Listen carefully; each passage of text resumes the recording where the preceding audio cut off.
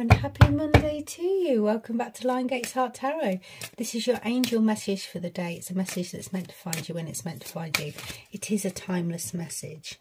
We have opportunity to forgive.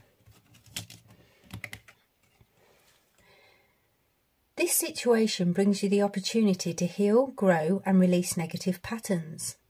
Hold the intention of seeing the other person's inner divine light and goodness. We will help you release unforgiving thoughts, feelings, and energies and lift you to a higher place of peace and compassion. Beautiful. You're releasing yourself when you forgive. That's your angel message for the day. Hope it finds you well. Have the beautiful start to the week. Sending loads of love and light your way. Until tomorrow, bye bye for now.